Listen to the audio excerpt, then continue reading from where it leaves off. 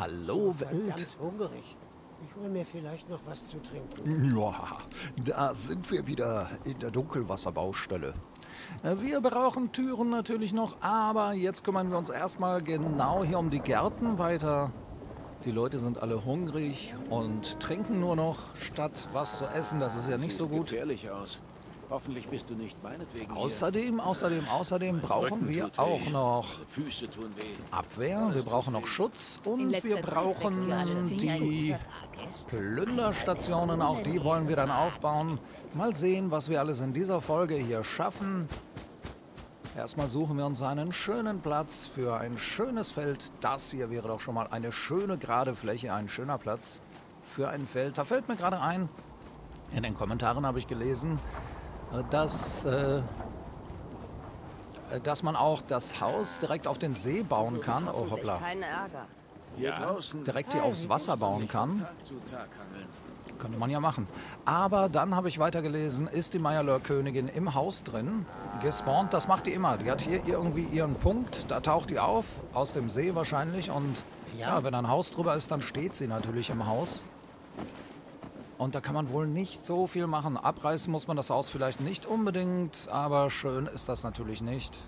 Ich hoffe, dass es bei Meine uns anders Systeme aussehen brennen wird. Wir haben.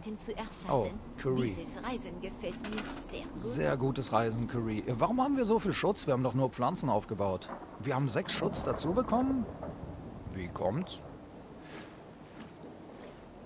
Also, der, der, der Punkt, wo die immer auftaucht, die Meyerlöhr-Königin, ist wohl immer der gleiche da hinten. Also wie gesagt, die, die gräbt sich da scheinbar so irgendwie aus dem See, aus dem Tümpel hier unten, aus dem Sumpf nach oben und dann ist sie eben hier. Unsere liegt da noch, ziemlich hinüber. Und wenn man da ein Haus drauf hat, dann ist sie eben drin. Hm. Ja, okay. Ich weiß nicht, wie viel Schaden die an den Wänden und so anrichtet, keine Ahnung. Ansonsten hatte ich vorgeschlagen, könnte man ja auch, können, kann ich das mal eben demonstrieren? Hier könnte man ja auch diese Sache mit dem lang gedrückten E machen. Also wir nehmen mal eine Plünderstation, die wir ja sowieso hier aufbauen wollen irgendwo. So, die Plünderstation steht und äh, wenn wir daneben jetzt, ah, wir haben noch eine Plünderstation. Okay, wenn wir noch eine daneben bauen, so und dann hier drauf gehen und lange E gedrückt halten, dann sind gleich beide verbunden. Das klappt auch mit dem Haus, mit dem Häuschen, also mit den Häusern klappt das auch. Natürlich, wenn oben Siedler stehen, dann fallen die durch, sobald man das hier aktiviert hat, das E. Dann fallen die durch und können sich da schon verletzen. Aber die heilen sich in aller Regel dann auch wieder. Ansonsten könnte man dann das ganze Gebäude mit einem Mal verschieben. Ist ein bisschen frickelig vielleicht. Da muss natürlich hier vorne dann eine ähnlich gerade Fläche sein wie, ja, wie auf dem See zum Beispiel, wenn man da was gebaut haben. Und wir haben ja schon eine Plünderstation aufgebaut. Eigentlich reicht eine Plünderstation. Wie schon gesagt, wir haben das mal in Covenant beobachtet und die Plünderstationen, die bringen ein bisschen was. Sie bringen ein bisschen Stahl, sie bringen ein bisschen Holz, sie bringen ja so Baumaterial auf jeden Fall. Ich meine ab und zu sogar nukleares Material, ab und zu auch Schrauben. Hey du, ah, auf dich kommen wir später zurück. Äh, nukleares Material auch mal kann dabei sein, Schrauben auf jeden Fall. Ja, alles mögliche an Baumaterial kommt da eben rein durch die Plünderstation. Einzige Sache, die einzige Sache dabei ist, dass die Plünderstationen eben, also da kümmert sich immer nur einer drum. Sonst ist es ja so hier bei den Pflanzen auch so, dass die Siedler sich dann gleich mehrere Pflanzen schnappen, um diese sich kümmern, wenn man einmal einen zuweist. Und das ist bei den Plünderstationen eben ein bisschen anders. Pro Plünderstation immer nur ein Siedler. Oh, das geht doch hier wunderbar. Da haben wir sogar richtig viel Platz gespart.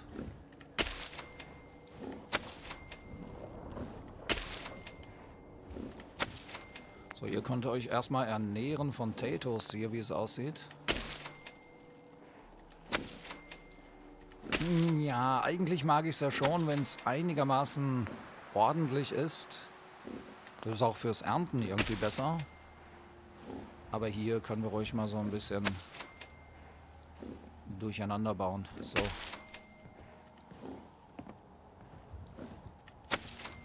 Ob wir da dann Leute zugewiesen kriegen, die sich hier um alles kümmern, ich weiß es nicht. Was wir immer ganz gerne machen, wir bauen immer ganz gerne diese Bäume hier so am, am Eingang hin. Ich weiß auch nicht warum. Buchsbaum. Naja, das ergibt jetzt hier nicht so viel Sinn.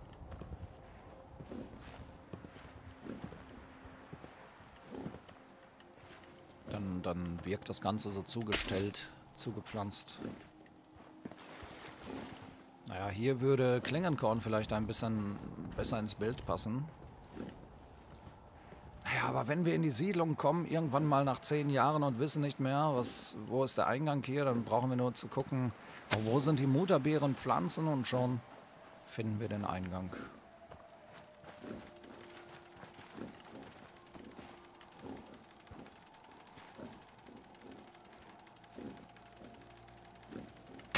Ihr guckt alle, ich fühle mich so beobachtet hier. Oh, das wäre gut, wenn hier links und rechts einer hinpassen würde hiervon.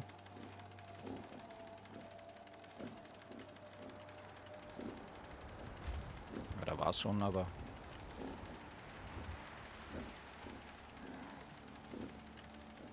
Aber ich bin da manchmal doch so perfektionistisch. So. da kommt keiner mehr durch. Ah, das ist ja super zugestellt jetzt. So, einmal schnell schlafen. Müssen wir wirklich aufstehen? Oh, Curry, du kannst ruhig liegen bleiben. Aber ich stehe auf.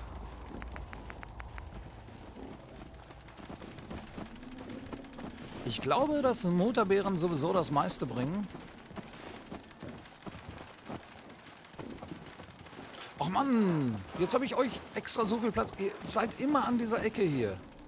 Also beim Bauen vielleicht diese Ecke hier freilassen, nicht so wie wir. Wir haben stur, wie wir sind, natürlich immer schön weiter hier die Ecke zugebaut, schon wieder. Ach Mann, jetzt rennt doch nicht alle da durch. Ich will auch hier pflanzen. Seht ihr das denn nicht? Ihr habt doch alle Hunger.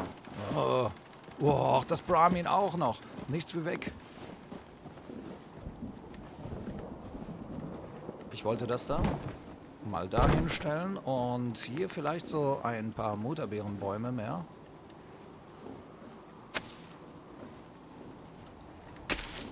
Oh ja, das wird schön. So eine Allee. Vielleicht wachsen sie auch noch.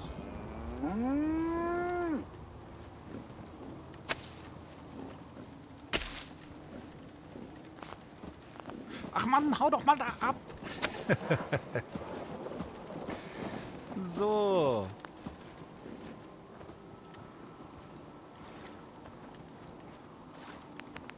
Wir haben immer noch drei davon.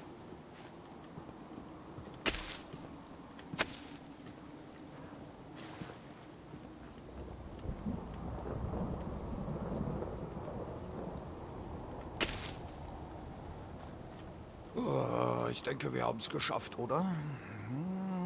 Mutterbeeren okay, Tatos sowieso. Dann haben wir Mais wahrscheinlich hier vorne noch sehr viel. Oh, 36 Klingenkörner. Ja, die kommen woanders hin. Eine Melone. Das ist alles ziemlich zusammengequetscht jetzt hier, ich weiß. Ja, davon können wir doch ein paar mehr hier hinpacken.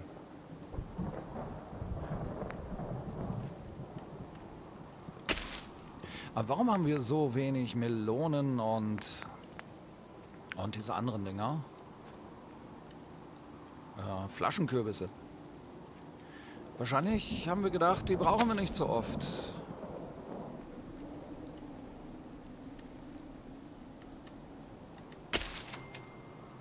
Ja, da müssen sich auch Siedler dann drum kümmern hier, wenn wir das hier alles anpflanzen.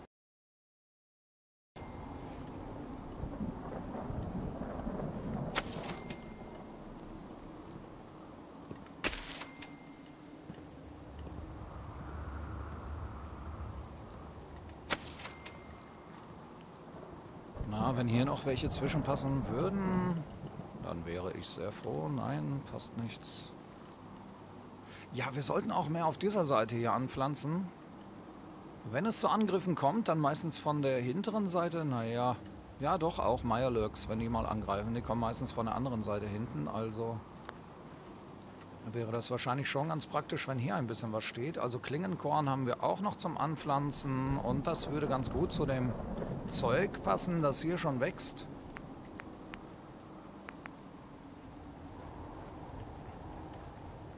Ja, man kann hier ins Gebüsch pflanzen, Klingenkorn.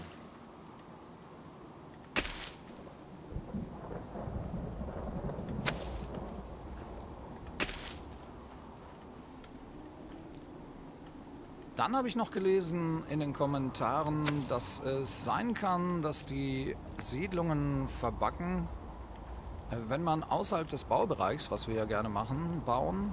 Also man kann immer so halb raus aus dem Baubereich, wenn man jetzt große Teile hat. Dann können die ruhig mal so ein bisschen überstehen. Das machen wir eigentlich immer ganz gerne. Nutzen also den ganzen äh, Bauplatz und da ist die Theorie jetzt in den Kommentaren aufgekommen, dass es daran liegen könnte, dass die Siedlungen dann so ein bisschen verbackt sind schon mal. Und das halte ich für gut möglich sogar. Oh, wir haben kein Klingenkorn mehr, das ist aber auch selten. So, ich hoffe, wir haben noch genug Mais. Ja, Mais können wir noch anpflanzen. Hm, aber hier hätte ich jetzt auch nicht unbedingt jetzt noch Mais gerne stehen. Das reicht eigentlich schon, was wir da so haben an Zeugs. Hier wird es auch ein bisschen eng, wenn wir hier noch mehr anpflanzen. Vielleicht, vielleicht, vielleicht hier. Da liegt die Leiche, aber trotzdem ein paar Maispflanzen, finde ich, können hier ruhig hin.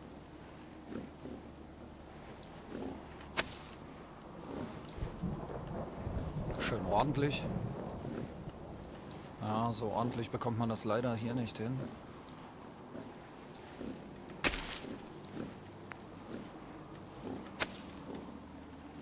Also das mit dem Bauen, dass das dann eventuell, äh, wenn es etwas außerhalb des Baubereichs gebaut wird, zu Bugs kommen kann, das sollte man ruhig mal im Auge behalten und austesten weiter. Auf jeden Fall eine super Idee, ein super Tipp, das mal auszuprobieren. Wir haben ja in Sanctuary Hills zum Beispiel das Phänomen, dass wir nicht mehr an unsere Kisten kommen meistens ich glaube, letztens hat es mal geklappt, ganz kurz. Aber ansonsten funktioniert das wohl nicht so gut mit den Kisten. Nicht mehr.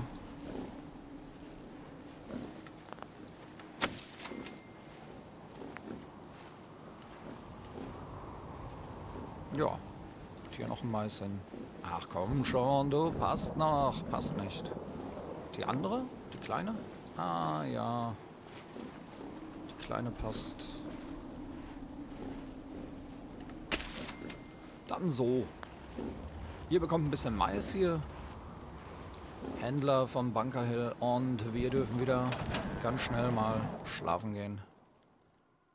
Ich fühle mich wunderbar. Oh, das ist wunderbar, Curry. Wollen wir hier auch noch so, ein, so eine Mais Linie ziehen oder... Ja, ich bin eher hier für Klingenkorn nochmal. Ein bisschen mehr Klingenkorn hier hin. Eingelagert haben wir ja noch ein bisschen was. Dann sieht man hier die Lücke nicht so.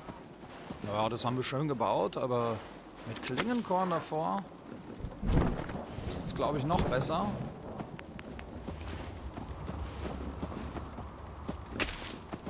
Ja,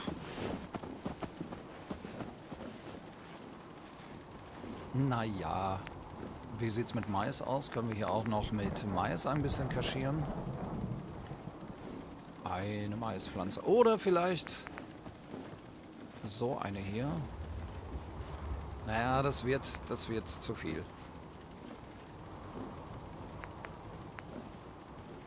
Also, ja, da bin ich schon stur manchmal bei dem Mais. Hast du gut geschlafen, Schatz? Wunderbar, Curry. Das Zeug ist besser als Nuka-Cola. Probier's mal. Es ist äh, wunderbar, ist das. So, dann ich will haben mich wir. nicht beschweren, aber die Lebensmittel sind knapp. Ja, was machen wir denn hier die ganze Zeit? Wir kümmern uns doch schon drum. 30 hiervon können wir hinbauen, die werden alle zerstört. Wenn es mal zu einem Angriff kommt, Dann wird alles kaputt sein.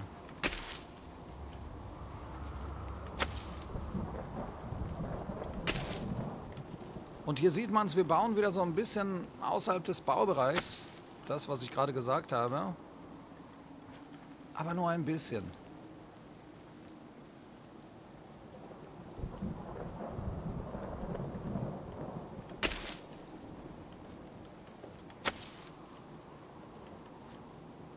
Oh.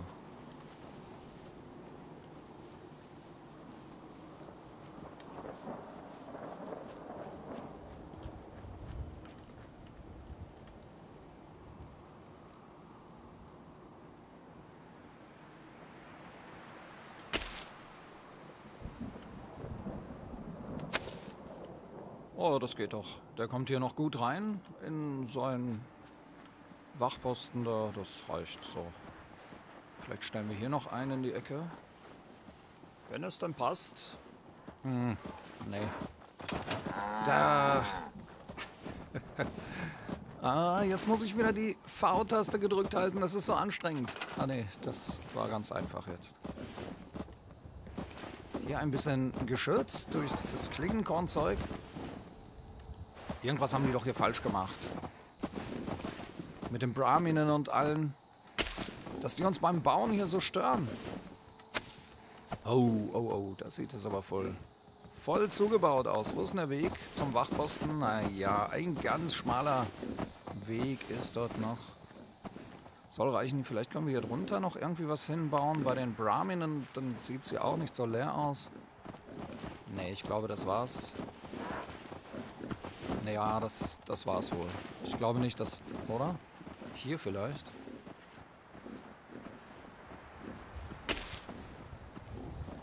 Ansonsten glaube ich nicht, dass wir hier was ins Wasser stellen sollten oder so. Wer hat denn hier die Dingens hingebaut überhaupt?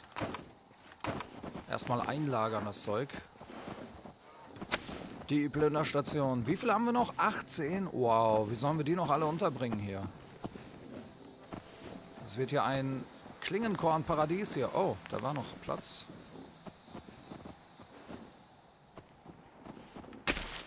Genau davor.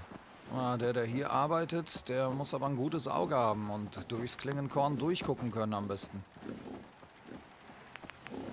Das hier wollen wir doch auch ein bisschen kaschieren, wenn es möglich ist. Ich weiß nicht, dieses Brahmin.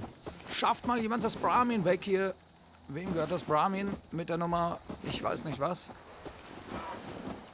Bitte einmal das Brahmin parken, richtig.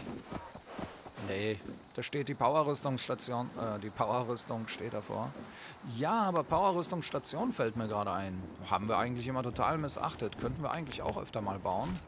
Oh, das ist gut hier. Für eure Brahmine bekommt ihr gleich ein bisschen Klingenkorn. Wir kaschieren mit dem Klingenkorn hier so ein bisschen das schrubbelige Haus. Naja, ein Durchgang hätte ich da schon ganz gern. Oh Mann, das sieht alles so eng jetzt schon aus.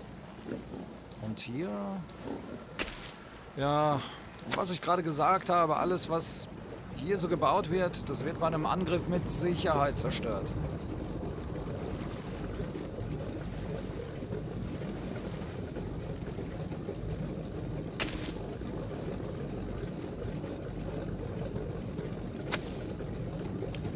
Noch. Wie haben wir das denn vorher gebaut?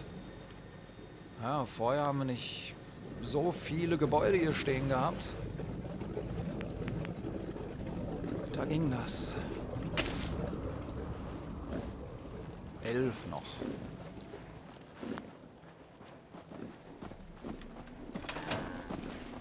Ich sehe schon, wir müssen in der nächsten Folge weiterbauen. Curry. Diese Folge ist vorbei. Ich bedanke mich für euer Zusehen, für eure Kommentare und für eure Likes. Daumen hoch für euch. Macht's gut, bleibt gesund und munter. Stay home und bis zum nächsten Mal. Tschüss.